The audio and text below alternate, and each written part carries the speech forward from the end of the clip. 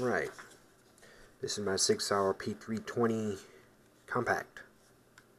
It has been cleared, but for the sake of you guys out there that uh,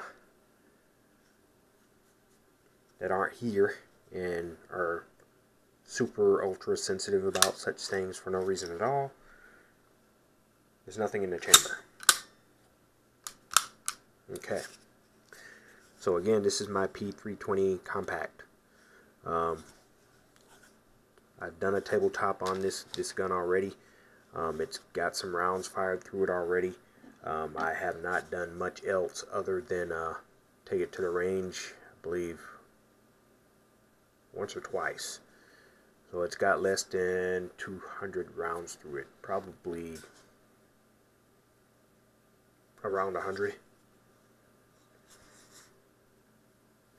Um, very solid firing gun. Um, it has a uh, very nice trigger. It's well documented on the internet and on YouTube. Um, got good qualities. So, uh, why am I reviewing the gun? Because I went and got this. This is a uh, grip module assembly for uh, Sig Sauer P320 subcompact. Uh, this this is a modular gun, so I can I can make it smaller or bigger or whatnot. Um, so I'll be converting the compact into a subcompact using the compact's uh, slide. I've already done this off camera. So uh, a couple of things I want to cover real quick before the uh, before I convert it. Um, when I converted it earlier, this uh, recoil spring uh, spring guide rod um, was protruding from uh, this frame. Um, it's also protruding from this uh, grip mode assembly as well. Um, so there's no difference in that. Um, as well, the takedown pin here on this side, the uh, the pin isn't flush with the uh, with the grip module assembly. Um, it's the same with this grip module assembly, only a little bit worse actually. Um, but it's it's staying in place. It's not coming out. Um, what else? There was something else I wanted to mention here that I saw and I can't think on it now so I might kind of let it be. So yeah so let's let's get to it. So you lock the slide back set the takedown pin down release the slide pull the slide off. Now you take the takedown pin out. And this should lift right out. There you go so the internals of the gun will now go into the subcompact uh, grip module assembly. Snaps right in place. I want to make sure it's back far enough. Yep, there it is. Everything's in place. The hardest part about this is actually getting uh, this takedown pin back in. There you go it's in. Everything's in place. Huh. Actually, uh, the back side of the takedown pin is it's a lot better than it was. I must not have had the internal seated correctly.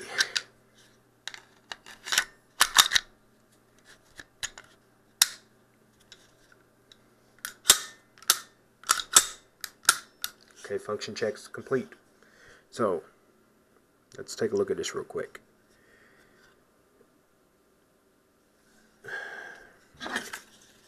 And holding the two, it's very apparent that the gun is slimmer in here, in this area.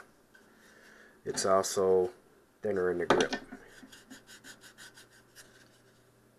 Um, what else? Mentioned just earlier that the takedown pin feels like it's inside it's it's pushed in a little bit more. It's almost flush now. The uh, recoil spring rod uh, guide rod is just as I said with the compact. It's protruding out a little bit. Um, the slide isn't overly long. Um, you can see a little bit under the dust cover here. Well there's a crack between the dust cover and the bottom of the slide but you won't know it unless you flip the gun over. Um, that's not that's not anything negative. Um, in fact looking at it like this you you I don't even think you, you see anything here. Fits my hand right kind of well um, so along with this uh, subcompact grip module assembly, I bought two subcompact mags. They're 12 round mags. And here's the difference between the two. Let me put this gun aside for a second here. This is 15 round mag, I believe. This is a 12 round mag.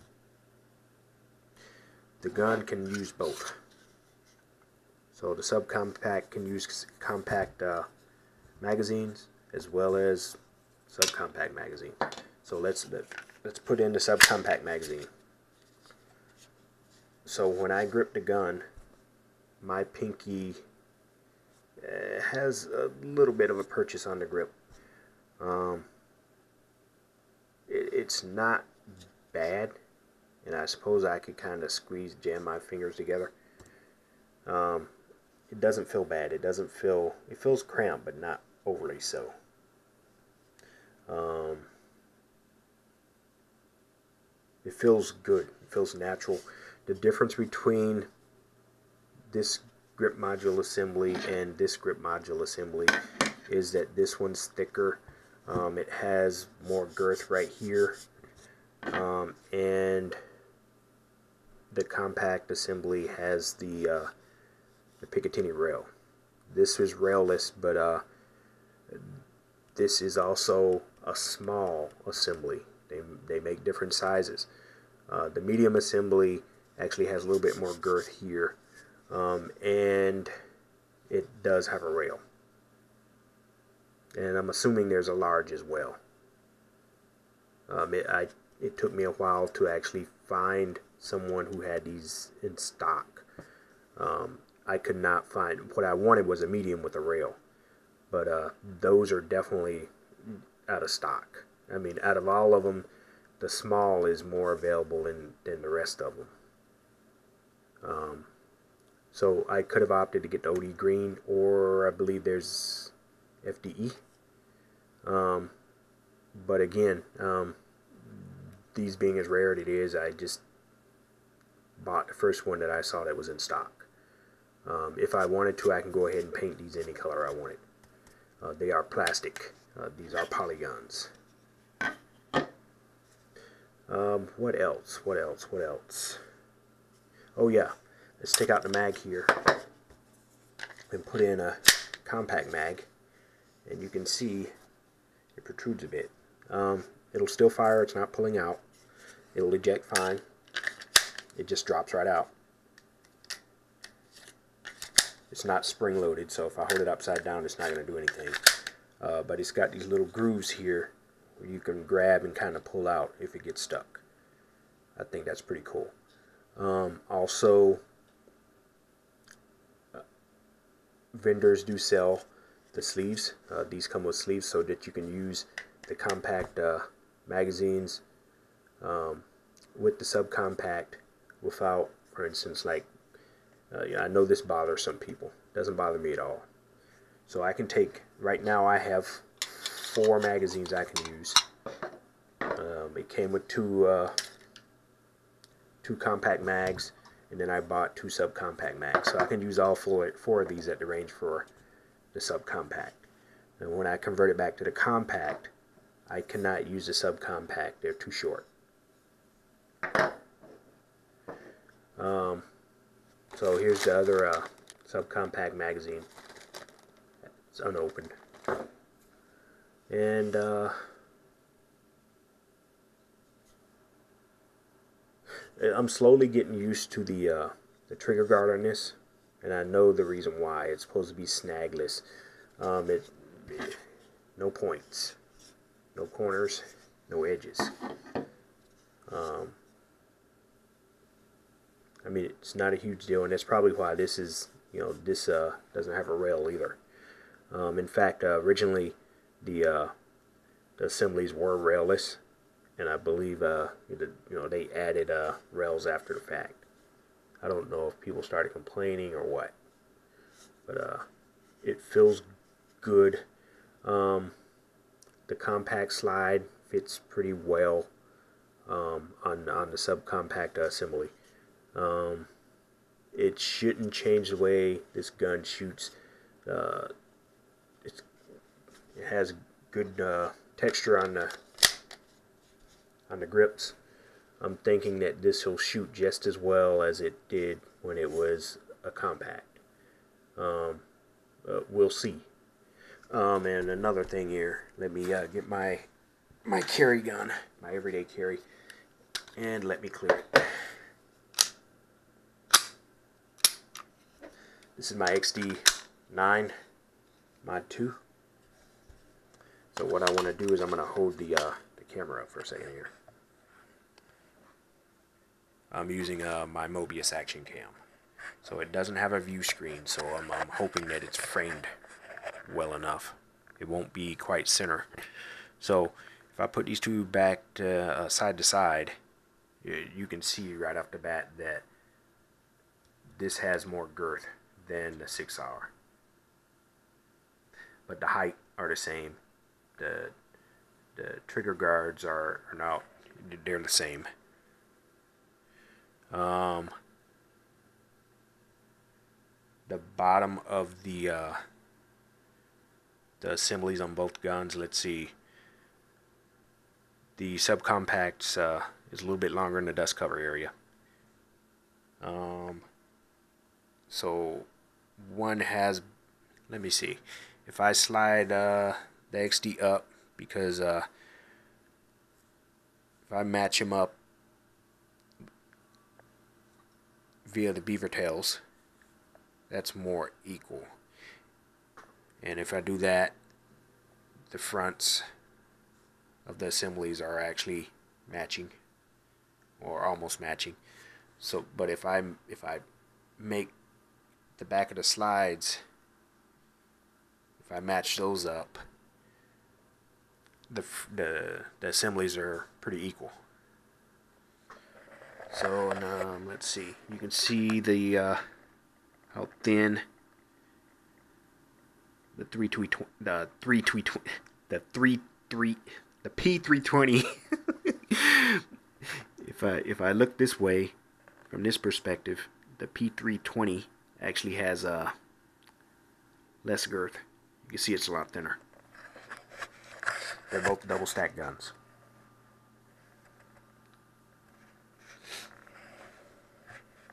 But it, it's it's it's funny how uh, how much. Let me put them flat on the mat here. It's funny how uh, just trying to wrap my head around the fact that these guns are similar size.